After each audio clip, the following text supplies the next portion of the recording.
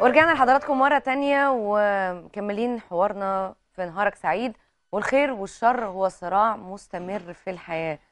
آه، مهما كانت درجاته ضيفتنا النهاردة جسدت الخير والشر بطريقة مختلفة تماما في فيلمها. ضيفتنا المتميزة رحمة. ازيك يا رحمة.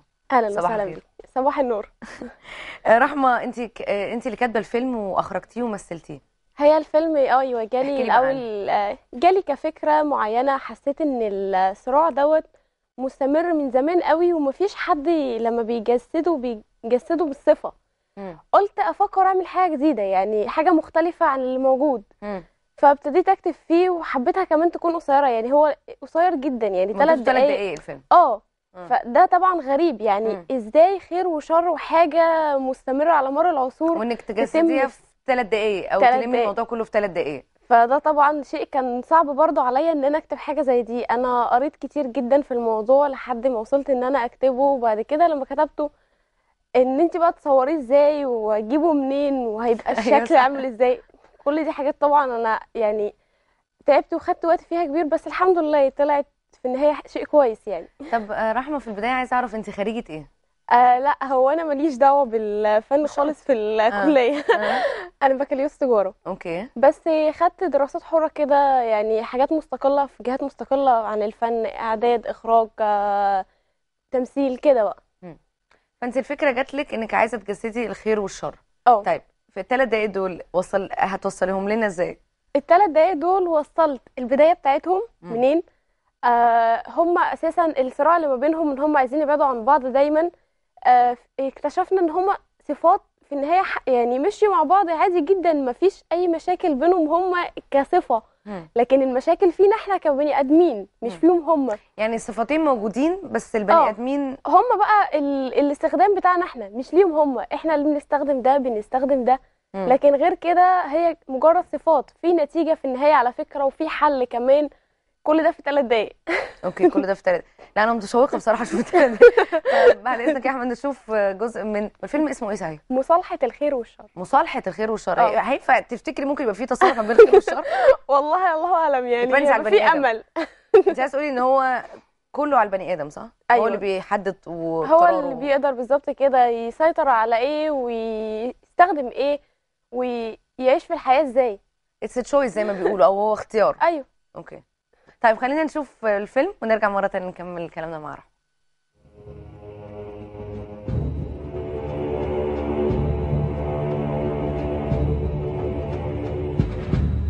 عندما خلق الله الكون وقرر نزول آدم وحواء إلى الأرض أنزل حينها جميع الصفات الإنسانية وكانت كل صفة طيبة لها نقيضها. ولكن الجدل دائما دار حول لماذا خلقت الصفات السيئة. ووقتها كان من أكثر الصفات تعاركا في الحياة الخير والشر. فمنذ بداية الكون تعرفنا عليهم عندما قتل قابيل أخوه هابيل. ومن ذلك الحين كان الخير دائما يحاول التغلب على الشر والابتعاد عنه.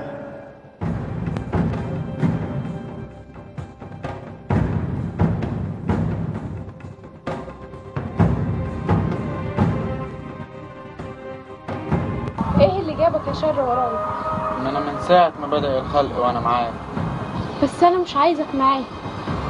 إزاي؟ إذا كانت دي هي سنة الحياة. خير وشر. بس أنا تعبت كفاية بقى. مش بايد أنا بقى. أنا تحت أمر رب لا.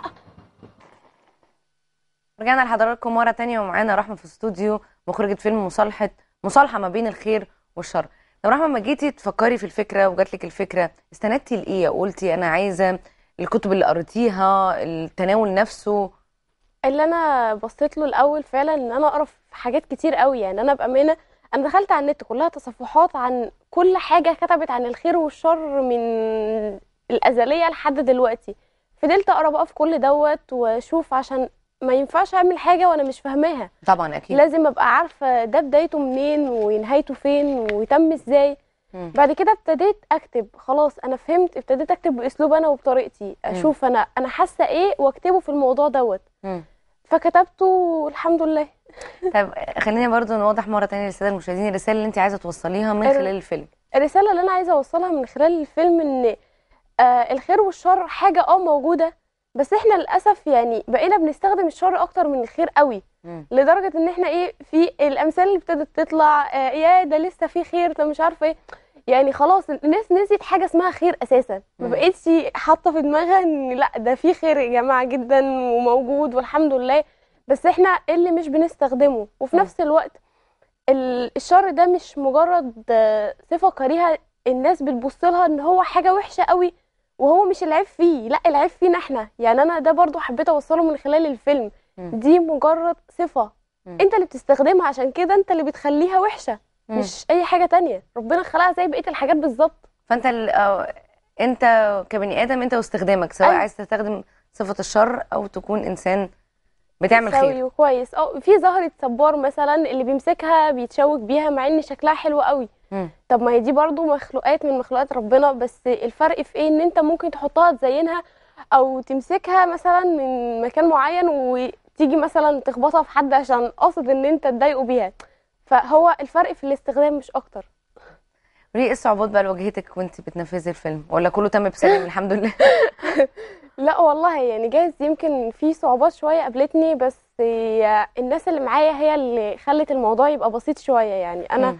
أحب بس أشكر كل اللي اشتغل معايا في الفيلم في كل حاجة إذا كان مدير التصوير محمد رضا اللي عملوا له المونتاج أيمن إبراهيم ومحمود صيام عمل لي الشغل بقى الجرافيك بتاع الفيلم والخدع السينمائية الناس اللي مثلت معايا حتى محمد دسوقي مصطفى الجزار أحمد إسماعيل كل دول بأمانة وقفوا جنبي واقفة خلوني أقدر أطلعه. لولاهم ما كانش الفيلم طلع يعني. طبعا أكيد. طب خلينا كمان آه، هو الفيلم أخد بالظبط وقت قد إيه منك؟ آه كتابة في تصوير في كل ده تقريبا بتاع شهر ونص. بتاع شهر ونص. آه ثلاث دقايق في شهر ونص. طب موضوعك اللي جاي هيكون عن إيه؟ الموضوع اللي جاي مش هيبقى فيلم قصير. مم. هو بصي هي حاجة هتبقى فيلم رعب بس طبعا مش هقول حاجة عنه خالص يعني خليها مفاجأة بقى بس هو بالظبط حاجة هتبقى رعب فيلم رعب. okay أنت اللي هتكتبيه وهتخرجيه أنا وكله. بكتب فيه حاليا. okay. أنت كنت مثلتي آه، في أعمال سينمائية أو أعمال تلفزيونية قبل كده يا رحمة؟ أنا مثلت في أفلام قصيرة برضو قبل كده كان فيلم اسمه انتحار الحب وفيلم اسمه ظلم قانون. آه، ده الأعمال اللي يعتبر فيديو اللي عملتها غير كده بقى كنت بمثل في مسرحيات طبعا تبع الجامعة قبل كده. كانت البداية خالص بقى اللي هو أي حد بيحب أساسا يتعلم التمثيل ويشتغل فيه بيوجه طريقه أول حاجة للمسرح. طبعا. بعد كده بيتفرع منه بقى سينما فيديو حسب ما هو عايز. طب وأنت كمان اللي اعرفه إن أنت بتدرسي مزيكا أو درستي مزيكا؟ أنا بدرس حاليا مزيكا مع دكتور أحمد حجازي آه، دوت آه، يعني آه، بحاول أعمل فيها حاجة لأن أنا أصلا بغني يعني. آه ما أنا كنت حاسة كنت أقول لك أنت بتغني ولا آه. بتعزفي آلة لا. لا لا بغني. آه. طب حلو ظريف جدا. كويس آه، قوي إن الممثل يكون عنده أدوات كتيرة جدا يقدر يستعملها في التمثيل. الفنان شامل بقى. لا ما هو ده ده شيء مهم لأن الفنان فعلا لازم يكون بيعرف يعمل كل حاجة. يعني دايما بنشوف الفنانين بتوع بره بالذات فيلم The Artist مثلا اللي خد جوائز أوسكارز مم.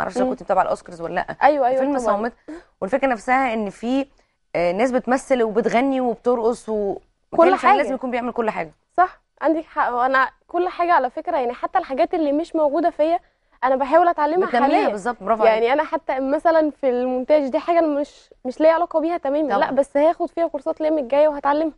فكل حاجة ليها علاقة بالفن. أنا نفسي فعلا أفهمها قوي. طبعا. طب وليه هتشاركي في أي مهرجان إن شاء الله؟ آه في مهرجان اسمه موسكارز وفي مهرجان كام إن شاء الله الفيلم داخل فيهم حاليا. في مهرجانات تانية بقى لسه ما ابتداش التقديم فيها. ده هبقى ادخل فيهم لما يبتدي. طب يا رحمة إحنا سعداء جدا ان انت موجودة معانا النهارده وبتمنى لك التوفيق وايه طموحاتك اللي نفسك تحققيها ومشروعاتك اللي جاية إن شاء الله؟ أنا بامانه نفسي طموحاتي في الفن ان أنا اعمل فيه حاجة يعني إيه اللي هو تبقى رسالة للمجتمع وفي نفس الوقت يعني بصمة وعلامة زي الناس اللي هم مثلا إيه آه في سعاد حسني في هند رستم الناس دي لحد دلوقتي محدش نسيهم. طبعا. وموجودين عايشين معانا. فأنا عايزة أبقى كده. عايزة أعمل حاجة محدش ينساها على مر العصور حتى لو أنا ميتة ومش موجودة بس هي تبقى. موجودة. لا إن شاء الله آه، ربنا يوفقك بإذن الله وت- وتعملي اللي أنت عايزاه وبنشكرك جدا على وجودك معانا النهارده. ربنا لك. التوفيق وفيلم فعلا فكرته حلوة جدا إن يبقى هو فعلا زي ما أنت قلتي صراع مستمر ما بين الخير والشر. وفي الآخر الموضوع على البني آدم نفسه. يعني زي ما أنت قلتي صفتين ربنا خلقهم. بس إحنا بنستخدم أنهي صفة فيها؟ صح؟ صح. ده اللي انت عايزه تقوليه؟ هو ده اللي أنا في حاجة تانية للناس. عايزة توصليها لا أنا بس أوصل للناس إن يعني آه، الفيلم برضو الفكرة منه إن ممكن مثلا آه، ناخد آه، واحد عشرة يتفرجوا عليه واحد مثلا يعمل باللي فيه فيا ريت يعني أتمنى ذلك. إن شاء الله. مش متشكرة قوي أنا بشكرك جدا يا رحمة وبنسيبكم وبننتقل للفاصل ونكمل معاكم باقي فقرات نهارك سعيد